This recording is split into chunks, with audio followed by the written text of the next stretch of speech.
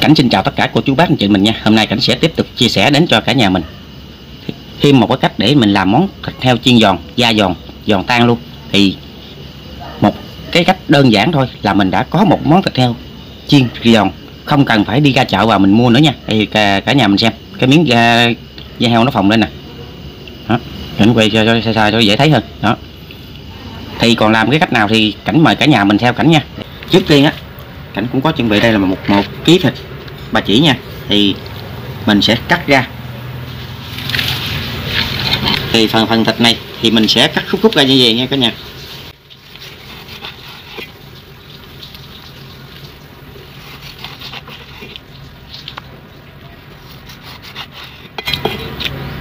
Thì hầu hết á, mình muốn ăn thịt ba chỉ và thịt nướng, làm sao cho da giòn thì bắt buộc mình phải ra chợ mua. Thì hôm nay cảnh sẽ làm một cái món thịt chiên tại nhà luôn và làm sao để cho cái da mình nó giòn như một miếng da heo quay. Mình tự nhà mình làm và mình ăn. Không phải cần phải đi ra tiệm nữa. Rồi tiếp theo thì cảnh sẽ bắt một cái chảo lên. Cảnh sẽ áp chảo một phần da này nha. Để mình loại bỏ những cái phần lông nằm ở trên à, da heo này nha. Rồi bây giờ phần chảo mình bắt lên xong nóng thì mình sẽ lấy phần à, da heo nè. Mình sẽ ở đây, mình sẽ áp chảo nha mình áp cho đến khi chừng nào mà cái da heo nó vàng lên thì mà là được nha cả nhà.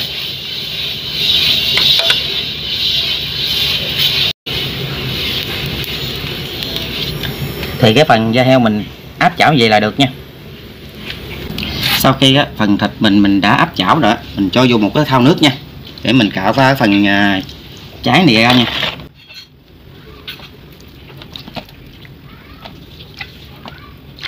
thì mình cho vô đây một ít muối luôn. Sẵn mình uh, rửa sạch phần uh, thịt của mình luôn nha.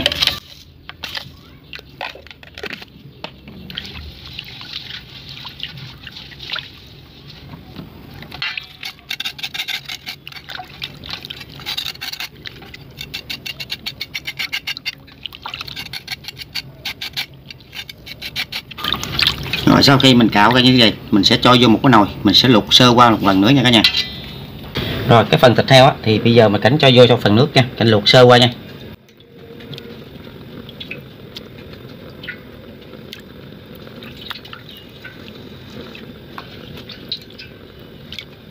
rồi, mình cho vô đây một ít hành lá luôn, để cho nó bán đi cái mùi hôi ta thịt heo nha, và một ít gừng luôn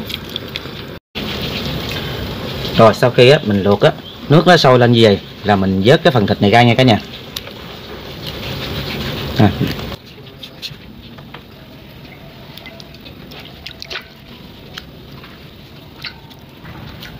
Sau khi á mình đã luộc mình cho vô phần nước lạnh á cho nó nguội để mình cầm dễ sắc nha cả nhà. Thì cái miếng này á thì cảnh cắt ra làm đôi nha. Mình để à, miếng lớn quá mình chiên nó lâu à, chín và lâu à, nó giòn hơn nha. Mình cắt làm đôi như vậy được nè. Đó mỏng mỏng như vậy thôi.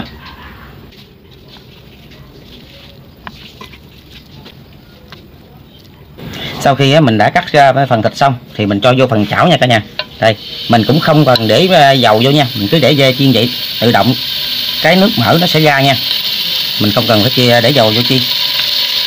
Đó, cứ để vô hết vô đây.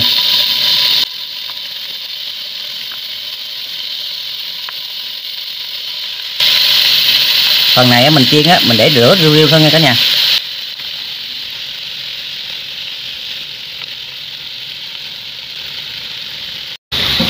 Trong thời gian chờ đợi thì cảnh sẽ làm một một chén nước chấm nha. Mình sẽ bầm ba cái tỏi này ra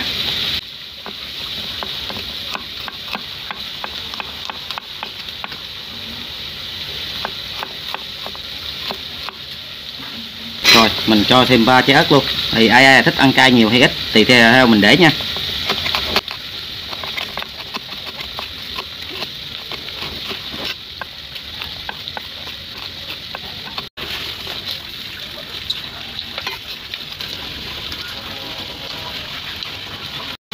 Rồi, tiếp theo. Cảnh sử dụng ít hành lá nữa nha. Hành lá này mình cũng cắt ra những nhuyễn ra luôn.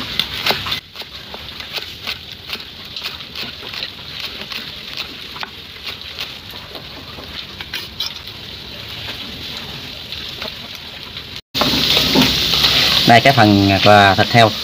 Mình đã cảm đã chiên xong rồi, cả nhà mình xem. Đó, cái da nó giòn nè, nó bung lên hết nè, thấy không? Thì mình nhớ, cả nhà mình nhớ chiên, mình đừng để dầu nha. Ba cái phần nước mở ra nè, ngập hết luôn cái phần của thịt heo luôn. Mình chiên cái này á, cái da nó phồng lên, cả nhà mình xem. Rất là hấp dẫn luôn nha.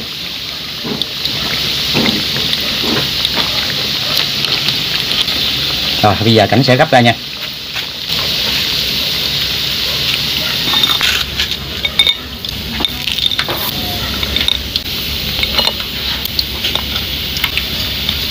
Rồi, tiếp theo, bây giờ cảnh sẽ quay ra làm chén nước chấm nè. Thì mình lấy cái phần mỡ nè. Nếu mình không có mỡ thì mình chỉ dùng bằng dầu nóng nha. Còn bây giờ có đang có mỡ nóng thì cảnh cho vô đây.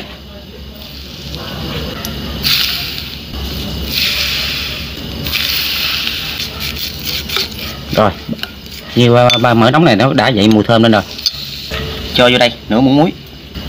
Một muỗng đường. Nửa muỗng cà no.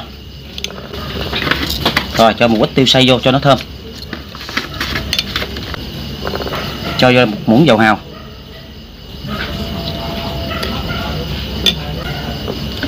Cho vô đây hai muỗng tương ớt. Rồi, mình đánh với phần này ra nha.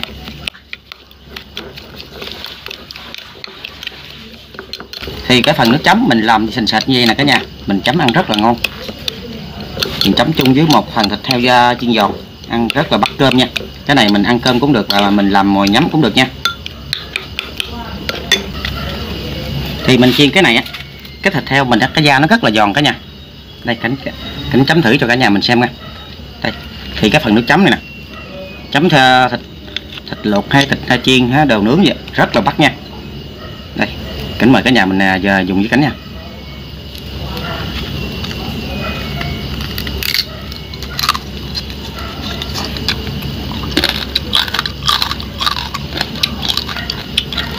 Ừ. Cả nhà mình có nghe cái độ giòn à, trong của từ da heo không? Rất là giòn nha. Ừ. Thì cả nhà mình muốn làm món da heo à, thịt heo mà chiên giòn da giòn hãy áp dụng theo cách này. Và nhớ chiên khi mình chiên đừng bỏ dầu gì hết để tự nhiên cho miếng thịt vô thôi. Là mình là chiên, miếng da heo của mình á. Ăn rất là giòn nha.